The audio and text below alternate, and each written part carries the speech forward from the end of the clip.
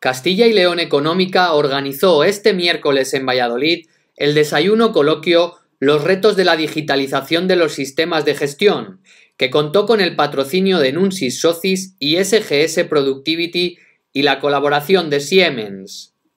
Durante el encuentro, Miguel Corral Martínez, de SGS Productivity Bailinis, del grupo SGS, explicó los retos que deben afrontar las empresas en su digitalización y facilitó algunas soluciones basadas en la experiencia para superarlos satisfactoriamente. En su intervención apuntó que este proceso incrementa entre un 15% y un 20% la productividad de la empresa.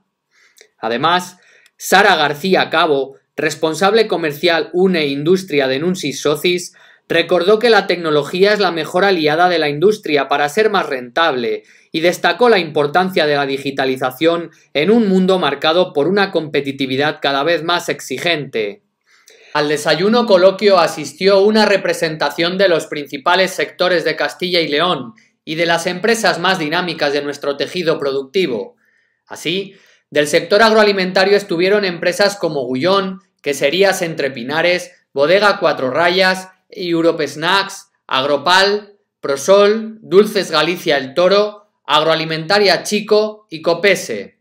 Compañías del sector de la automoción e industria auxiliar como Industrias Maxi, Itebelesa, Forbia, Eurostyle Systems y Metalimpex. Y compañías muy tecnológicas como Grupo Empresarial Inmapa, Signify e Hyperbaric.